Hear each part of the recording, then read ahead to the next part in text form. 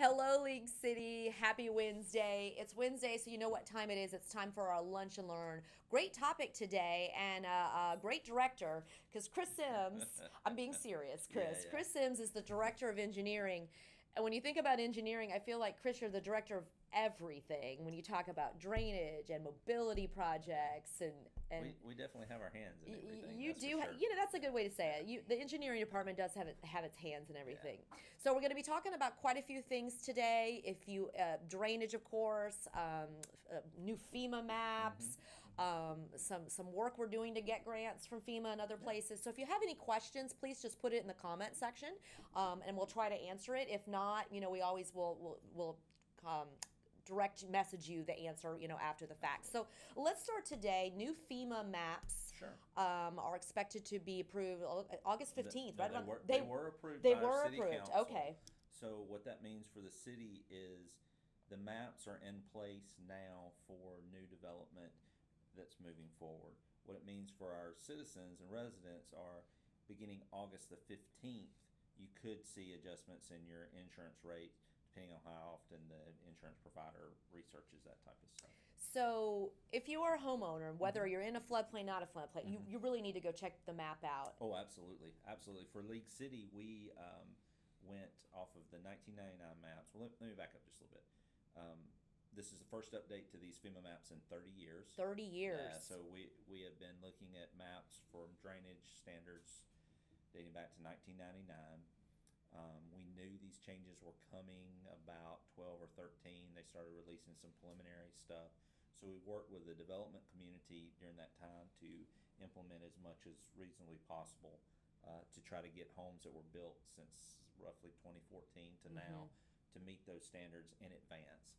Um, and we've been pretty successful. There's a few little outlier things as maps were adjusted during that time that, that maybe fell through, but for the most part, we've been very successful in getting that done.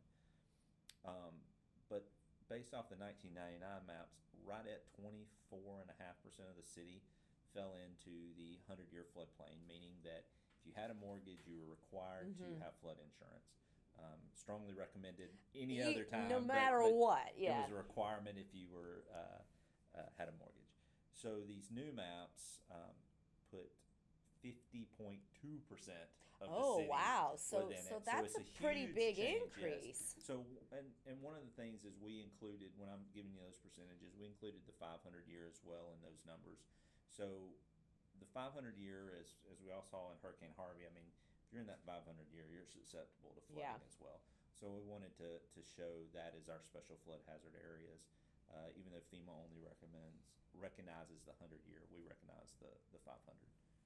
So we do have those uh, maps and a link and, and, and all of that on our website. So if you go to leaguecity.com and kind of scroll through the highlight section, you'll see FEMA real big and you'll know to click Mm-hmm. On that. And we also have um, the individual flood studies and, and parcel maps on the engineering webpage.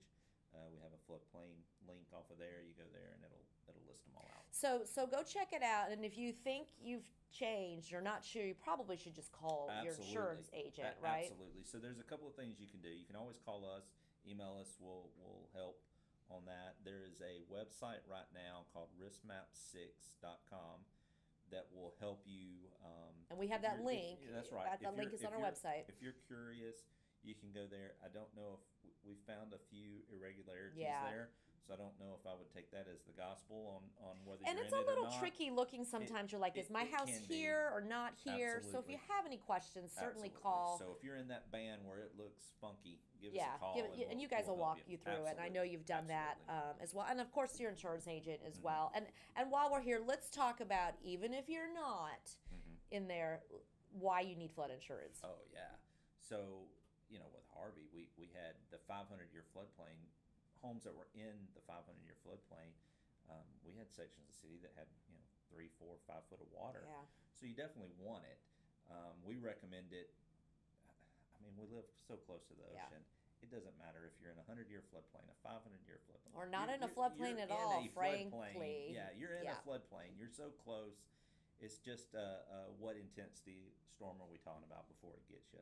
So we would recommend everybody get it. Yeah. Obviously, if you're in the 500 or, or outside the 500, you, it's a choice that you have to make. And and it's economical. It's really it's really not. Well, you know, we're talking hundreds of dollars Mhm. a year. Not you know if you're not in in the Correct. zone. And when you weigh that out compared to what folks that had to rebuild their home after three Oh, feet of water, um, you know, there's a return on your invest That- investment correct. investment there. That's correct.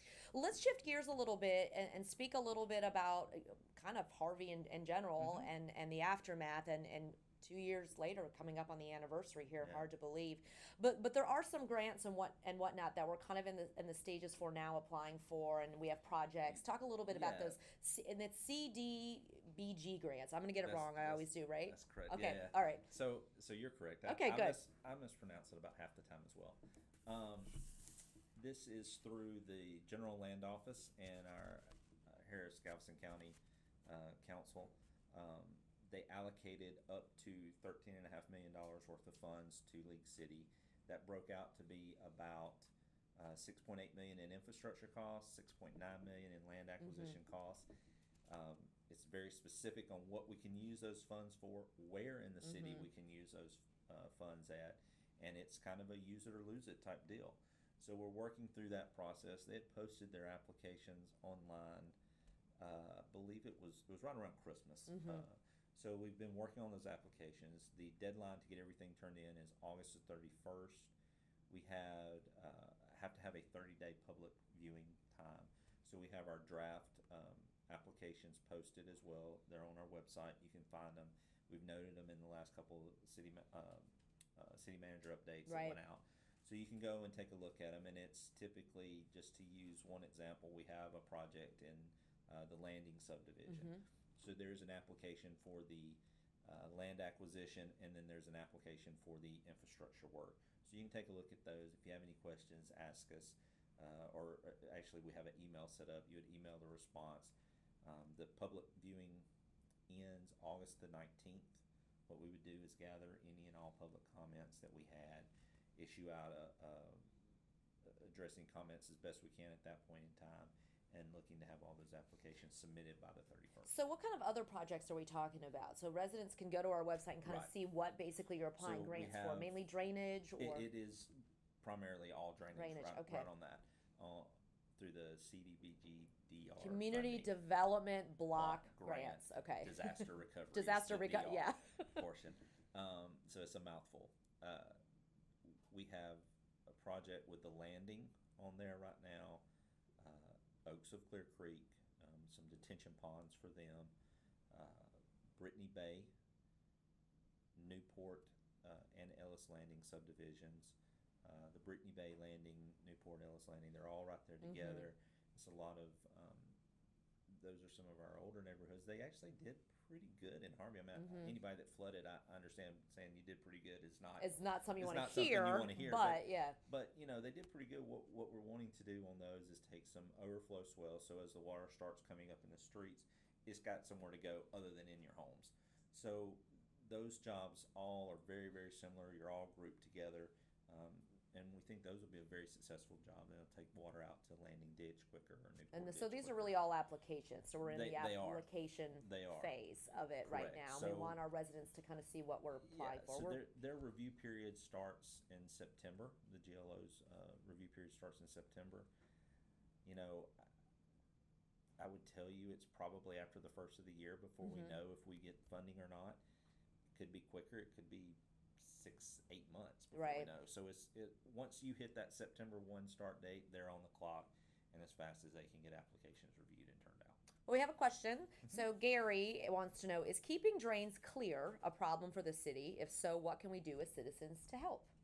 Oh, that's a good question. Uh, that's a question I, I bet Jody Hooks. Our, I was public just gonna say our public works answer, director uh, Jody Hooks lot- would lot would better. totally be right here. I know, one of the things I would say, it always seems like we have huge rain events coming on on trash day. yeah. so so be sure uh, that you know you, you kind of secure your trash the best you can. Make sure you don't see uh, if you see paint can lids or, or tarps or whatever that could potentially get into our storm drain. Those little things over time accumulate, and it will just basically cause a dam. yeah, and we system. don't we don't want to say don't take out Yeah, your trash, but if we're and you know we know when they're Mhm. coming. We, Mhm. we we usually have some advance warning, and and luckily all residents have two days a week, and so maybe if Correct. you can, because what ends up happening is that trash bag gets swept by the That's right. wind, and it and it just takes one trash bag in that drain, and and your whole street, you know, right. is flooded. And I know another thing Jody says too that's it's concerning that you can do leaves. Do not blow your your yard trash, your yard debris, the leaves, all the Mhm. clippings after you cut your lawn into the drains. I've seen people doing this. I've seen landscapers doing this. Bag them because what ends up happening? Everybody does that, and Mhm. yeah, it ends up in the in your drain, and it, it creates that that dam effect. Um, another thing that we do to help prevent this is if you'll notice um, when we have a large project going on, like our animal shelter, for Mhm. instance, if you start looking on Walker uh, as they were doing a lot of the earthwork initially, we had uh, some screens over our inlets. Mm. So when those trucks are, are leaving the job site and you get the mud on the street, it's hard to immediately get that clean. So those screens kind of prevent it as as you have a rain that comes down, it catches there. oh, okay. And it's okay, it easier doesn't to get all that mud doesn't that's go in. right, That makes that's right. sense. That makes complete sense. So yes, obviously, any help you can give us with keeping our drains Mhm. clean, we very we very much appreciate it. I would say we have one of the most proactive public works departments Oh, before a rain event. Just know that if we know we've had a couple of these in the last month or month or so that they are out that week, that couple of days going around to, to any kind of known problem area, clean, So- just checking those drains. Jody's guys are great. You know, um, if we have people call uh, us asking about, hey, we've got a slow drain or something like that, we work with Oh, them ab- directly. oh, absolutely. Um, they jump out and they do a very good job. They will. Uh, they've got a bunch of different tests they'll do, but they do have a video camera that they can run in and, and Oh, you can totally a, see. I've we've done some some videos on the video Yeah. camera, and it's pretty amazing that they can go in and Yeah. find what's blocking it. Or And, and then what happens is something similar um, just recently in the Westwood subdivision. Well, not recently. In, in Harvey, they had a, a few homes that, that flooded, and we thought initially that's got to be some type of, of clog there Mhm. that related to that. So we went in and we looked at that. Uh, Jody's guys went and videoed that for us. We also went and looked at the detention pond to see if something had, had maybe formed up Mm. over time just in front of the inlet um, and didn't find anything. So it helped us say, well, we know we don't have a, a clog problem. Let's go back and really get in the weeds on that design. yeah, that way you can cross And- that out and go. It's and not that. It's not this. So as a result, we, we found where that issue was, and, and it was a project that was presented last night in our CIP program to, to correct. So it's a, Wonderful. a process that we have to go through to get that So, done. so so reach out to us. Uh, to, you can call three one one. You uh, can call Public Works because they Mhm. legitimately will go out if Oh, you think a absolutely. drain is clogging. Uh, we've had folks, you know, I've had folks on Facebook, uh, t- you know, send po- post a picture and then I send it Mhm. right over to Jody and, and the Yeah, team gets out. So absolutely. we very, very, very proactive. Yeah. Speaking of proactive, you have been very active applying for FEMA grants Yeah, yes. over the past like Yeah. forever. So uh, waiting for news still on some of those because that kind of played in with our with our bond program that recently Yeah. got approved. Can you give us a little status update on some of those? Absolutely. So we, we applied, we, we took 26 projects initially, uh, applied to FEMA and said, hey, we think these are viable projects. They did an initial th- uh, read through and said, you know what, we agree they are viable. So we started working on applications for those. Once you start looking at all the criteria you have to meet, of those 26, 19 actually met all the, the nooks and cranny requirements that were there. So we submitted those 19. Um, at the end of last year, we heard back on one, which was a master drainage plan, that it was going to be funded. We actually got the uh, notice that it was officially funded in May, Great. and that project is out right now through a RFQ, so we can get a, a designer on on topic Great. and move forward. Uh, the others have really, the other 18 have really kind of drug along. Uh, we heard earlier that that nine uh, did not. Uh, I say earlier on a, a week or so back that uh, nine were not going to be funded. That that didn't quite meet uh, the thresholds that they set forward, and and I guess the money that was being allocated. And then we heard that our other nine that we were waiting to hear on were going to be no, um, put on the alternate list, mm. which means that as you start doing your engineering studies on other projects, maybe projects that they thought would be successful don't really pan out. And if that happens, then FEMA cuts that funding, and you start looking at Oh, what's and, on the and then you see what, so if that's not Yeah. necessarily gonna work for that project exactly. in this city or Exactly. wherever, it might work, So- yeah. So that's that's good news in, in one sense Yeah. that, that potentially there's nine that could get funded. It's bad news that means hey we've got to wait now maybe a year maybe two years to see how stuff shakes out before we know if we'll get those projects funded or not. So we realized that was a, a potential issue when we were looking at our, our GO bond election Yeah. and everything. So every project that we uh, went after a, a FEMA grant on, we also included in the bond project list. So in case that those didn't get funded, or what's happening now where they're alternate funded, if we don't want to wait the five years, we we've got that. Which we don't. We have heard from exactly, council, we, exactly. and we're not, and we're, we don't wanna wait and we're exactly. not. So that, so that's, that was a good plan on that, on that part. And as we close things up, cause gosh, this time went by so quickly and we'll, we'll have to bring you on back. How are things going with the bond? I mean, I know we passed in, in May, it's only, Yeah, um, it's- au- you know, August first tomorrow, but there's been a lot of work already done. There has been. We've taken um, four projects in total to City Council for funding. We've got one that will go on the August thirteenth agenda. Uh, we've And got that's for, That is for Magnolia Creek Okay. and Cedar Gully, which we just recently did a, uh, a community meeting That's on. right, and- that's and right. brought people up to speed on that. Um, we're also about to, I've started negotiating on one other project, and I've got meetings scheduled for four additional projects on top of that. So I would say, uh, is gonna be very was- busy. well, I was gonna say, so we'll block out a council. time in That's- right. September for you to come back So- on and join us to talk, to talk right. about everything and, and update us, so. So, so we're definitely moving forward. One of the things that it may have seemed like we were a little slow on is, it's waiting to hear on the, on the grant funding. Yeah. You don't want to get ahead of, of the game there and end up doing something that's not allowed in the grant and you end up losing the money. Well, that's the, key- that's the key thing is like, and that's why we were waiting on some, because if we got the FEMA grant, there's very specific things you have to do to make sure you have the money, and you hate to get started on that and then get the grant, and then you, it's, yeah, so that's smart on our part, and, um, and lots of things moving forward. Chris, thank you so much for joining me today. Yeah, you'll be back in September, you don't, don't you worry, we'll, we'll schedule a date, because lots and lots of good information, uh, here today. If we didn't answer your question today, I know there was a couple that came in, don't worry, we'll direct message you and get, and get your answer. Um, but as always, join us on Wednesday for our lunch and learns, and uh, go out and have a great day, League City.